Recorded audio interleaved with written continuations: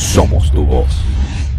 Con relación entonces a las medidas migratorias administrativas que se van a implementar a partir de este anuncio, podemos decir, la primera, como protección a los pueblos de acogida, que son aquellos que primeramente reciben a los inmigrantes. Vamos a remover los puntos de control y asistencia migratoria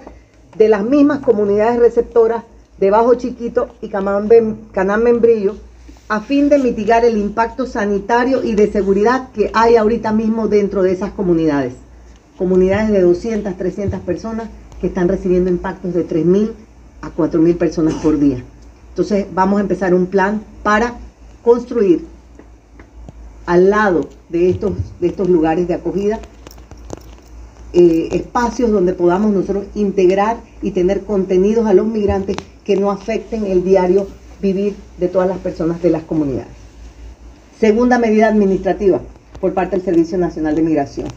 Continuaremos con las deportaciones y las expulsiones de los ciudadanos irregulares y con antecedentes penales utilizando las capacidades del SENAN. Trataremos de incrementar esas capacidades para poder duplicar o triplicar esos vuelos semanalmente de ser posible.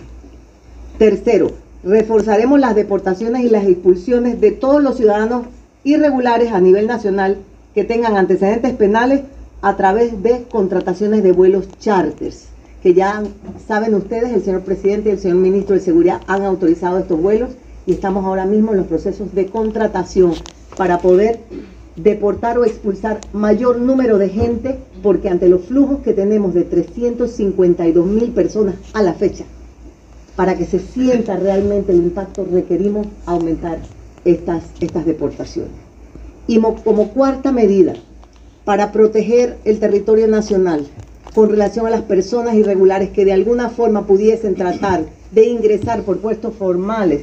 vamos a ajustar las medidas operativas en todos nuestros puestos de control formales en el país